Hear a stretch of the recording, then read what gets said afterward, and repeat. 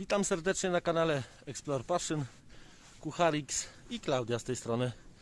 Na początku tego materiału chciałbym przeprosić Was, drodzy widzowie, drodzy moi subskrybenci, bo długo, długo nie było mnie na YouTube, a było to spowodowane tym, że poznałem Klaudię, wspaniałą dziewczynę, piękną, zgrabną, a przede wszystkim niejednoznaczną.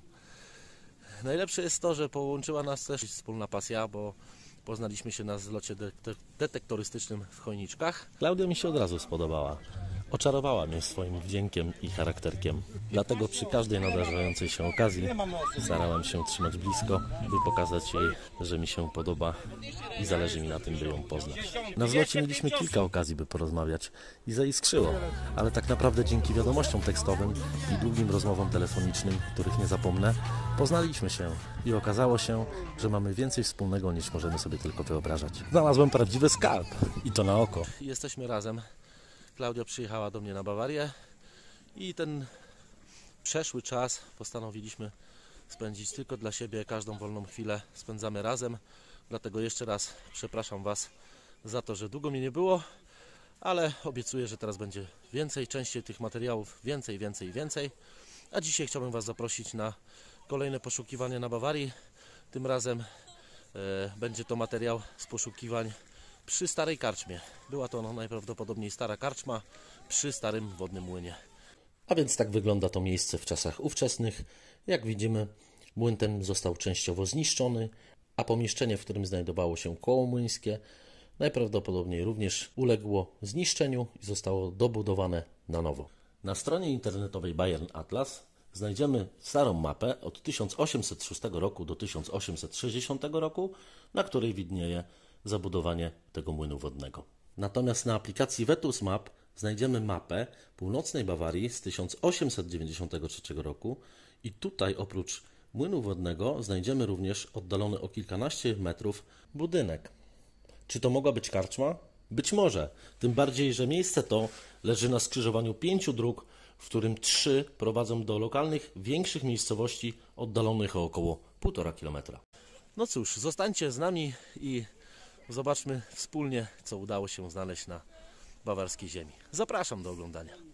Spointer się brudzi, łopata się brudzi, łapska się brudzą, ale jest pierwsza znajdka, miedziany guziczek, bardzo piękny. Niestety, kurczę, pierwszy raz się z czymś takim spotykam. Najprawdopodobniej miał dwie warstwy i widzimy, że ta druga warstwa jest oderwana, bo tu jest tylko takie, takie, takie coś, takie jakby tutaj miało być coś zamontowane, ozdobnego. No ale cóż, fajnie, jest pierwszy dołeczek, pierwsza znajdka, ciekawa miejscówka. Nie wiem, chyba mi zajmie pół roku, zanim to wszystko obejdę tutaj. Kurczę, naprawdę, po prostu chyba będę wracał często do tego miejsca i tyle. Mówiłem, że tego czegoś brakuje i jestem dalej przy tym samym dołeczku. No i proszę, jest coś takiego. Czyli jest druga część tego guziczka, dokładnie. Ale znajdka, niesamowita. Wow, jakiś kurczę orzeł bawarski. Ale dzieje się tu, dzieje się, oj się dzieje, super, po prostu rewelka. Dobra, tutaj jest, jeszcze pokażę, nie wiem czy to będzie widać, tu już się na dnie zbiera woda, także na głębokość łopaty już jest woda.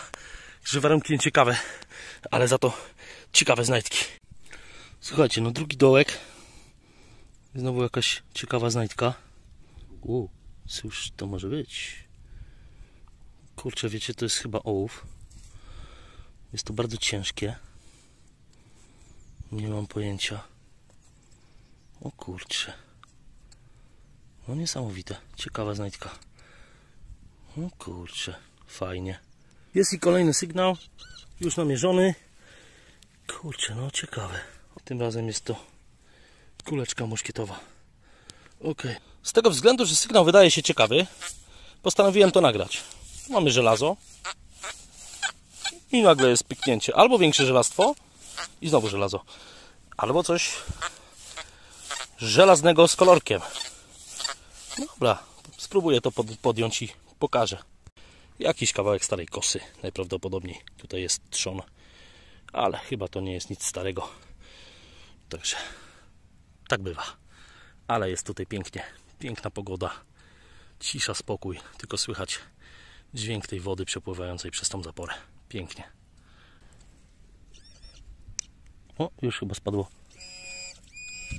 Przykleiło się. Słuchajcie, jest. Jest pierwszy moniaczek. No i jest to chyba fenolek. Tak, myślę, że to jest fenolek. Już widzę kolorek, widzę orzełka. Także jest pierwszy moniaczek na tym, na tej łące właściwie. Kolejny fajny sygnał. Na początku pierdzi, a później, później piękny kolor. I pierdzi. Czyli najprawdopodobniej to jest żelastwo. Ale sprawdzę, wykopię, ale naprawdę takie jest wrażenie, bo jest to duży przedmiot. I myślę, że się nie myliłem, bo zobaczcie, pierdzi. Czyli jak już jest większy dostęp do tego, to już pierdzi. No i tak zazwyczaj właśnie z Deusem. Przy większym, przy większym żelastwie pierdzi. Znaczy bije na kolor, a wcale to nie jest kolor. I proszę bardzo, kawałek żelastwa. Dlatego kto ma Deusa, to niech zapamięta. Jak jest większy przedmiot i bije na kolorek, bo widzimy, że przechodząc sondą, że to jest coś większego, że bije, bije, przesuwamy sondę, to dalej bije. A przy samych końcówkach, że tak powiem, jak już sonda to gubi, to pierdzi, to wtedy mamy podstawę ku temu, że jest to żelastwo. Kolejny sygnalik, kolejne żelastwo, ale piękna stara podkówka. Mam nadzieję, że na szczęście. Muu, pięknie. Cisza, spokój. Słychać tylko odgłosy Deusa. Sygnał 54. Myślałem, że będę musiał się bawić. Otóż nie, ale pięknie. Kurczę, fajnie. Pięćdziesiąteczka. O proszę, no proszę. Jasny gwint. Takiej jeszcze nie znalazłem, naprawdę. 1990. no 50 feningów. Super. O proszę. Pół guzika jakiegoś. O, pół guzika chyba arsenowego. Najprawdopodobniej. Tak jest. Ale idealnie odcięty. Fajnie to wygląda. No, ładnie zdobiony. No, jakieś kwiatki. Kwioteczki, kwiotunie. No, fajna znajdka, ciekawa. Coś się dzieje tutaj. Podobno tutaj był w okolicy jakiś budynek. Nie mam pojęcia, czy mapy są stare przesunięte, czy pokaz- pokazują idealnie, dlatego szukam tego miejsca i tak buszuję sobie tutaj pomalutku. Dwa sygnały. Oczywiście kolorek. Dobra, rozkopię i pokażę. Tu nie ma nic i tylko jest tu, także Deus mnie oszukał. No dobra, sprawdźmy co to jest. Okej. Cóż to mamy? Cóż to jest? Uuu. O kurwa. Słuchajcie, no coś tu się zaczyna dziać. Jest to na pewno miedź i była to jakaś zawieszka. Także fajna znajdka. Coś tu się dzieje, naprawdę. Myślę, że fajną miejscówkę fajną miejscówkę odkryłem i tylko buszować. Już częściowo go zlo zlokalizowałem. O, już widzę. Kulka muszkietowa, ale piękna. Bardzo, ja bardzo mi się podobają, bardzo lubię te kuleczki znajdować. Nie wiem dlaczego. Niby zwykła kuleczka, a, a taka jej waga i w ogóle wygląd. Ta historia jakoś mnie jara dziwnie. Kolejny dołeczek, kolejny sygnał. Czy godny filmowania? Nie wiem. Słuchajcie, mam piękna znajdka. Nawet to może być kurcze sreberko. Piękna jest. Chyba to jest sreberko. Albo nawet jak aluminium, to i tak jest piękna. Fajna sprawa. Fajna znajdka. A więc stary kolcoczek. Bardzo, bardzo stary. Bardzo, bardzo zaorany. Ale jest i kolcok. Dołek już zasypałem. I spójrzcie tylko. Okazuje się, że przeoczyłem moniaczka chyba najprawdopodobniej jakiegoś. Tak, jest to moniak, zdecydowanie. Stary jakiś, wycieruch, ale wygląda na coś starszego. Fajnie, ciekawie, mówię, coś tutaj się dzieje, naprawdę. Nie jest wiele tych y, dołków, ale jak już się coś trafi, to, y, to już raczej coś konkretnego. Ten zwiat mnie dzisiaj naprawdę zaskakuje. Tu jak widzicie zasypałem dołeczek. I jest kolejny sygnał na kolor. Już ją wykopałem, obczyściłem. I myślę, że tutaj jest jakiś Nie mam pojęcia, jakiś herb, jakiś, jakieś oznaczenia czy coś. Jest to taki jakby haczyk. Cholera wie, nie wygląda to na żadną fibulę, ale no jest to miedziane i ma fajną ozdóbkę. Także no kolejna ciekawa znajdka. Kurczę mówię, im bliżej tej drogi i tej rzeczki, tym coraz więcej sygnałów i coraz więcej ciekawych fantów. Czyściutki sygnał, bardzo silny. I Deus pokazuje 95. No to się trochę zawiodłem. Tak to wygląda. No faktycznie, duży krążek. Piękny, czysty sygnał. Pokrywka, kuźwa. Może się uda X-pointerem, a jak nie, no to zaraz jeszcze pójdzie wykrywka. Drugi raz w ruch. No chyba jednak będzie musiała pójść wykrywka. Okej, no dobra. Trzeba jeszcze włączyć X-pointera. Kurczę. O! Tutaj, ta, coś tutaj mamy. O, jest i konialiny moniaczek. Wow, jest i kurwa sreberko. Moneta ta to cztery krajcary z 1696 roku.